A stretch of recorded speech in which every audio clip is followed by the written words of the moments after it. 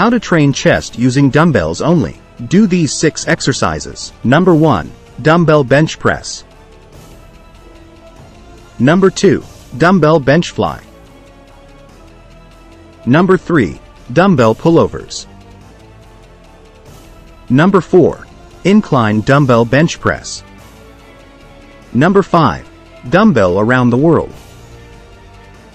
Number 6. Dumbbell bench fly. Don't forget to like and subscribe for more workouts and tips.